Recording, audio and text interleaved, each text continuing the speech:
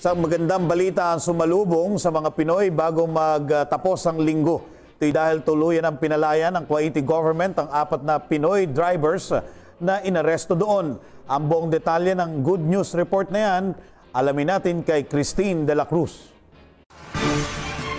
Reggie, ito nga ay isang magandang balita dahil pumayag na ang Kuwaiti government na palayain ang apat na Pinoy drivers na inaaresto kaugnay sa kontrobersyal na rescue operation ng Philippine Embassy sa mga kababayan natin na umano'y biktima ng pang-aabuso sa nasabing bansa.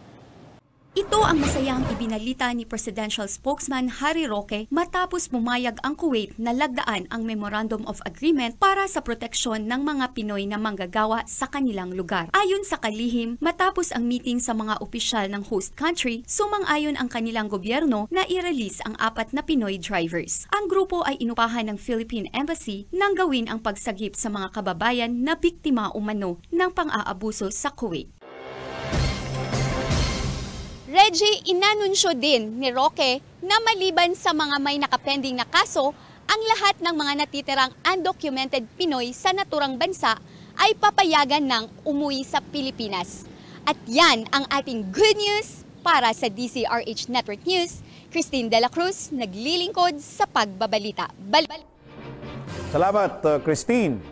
Para updated ka sa mga ganapan sa loob at labas ng bansa, mag-subscribe sa DZRH News Television YouTube channel. Mag-like, share, comment at iring ang bell para araw-araw updated ka.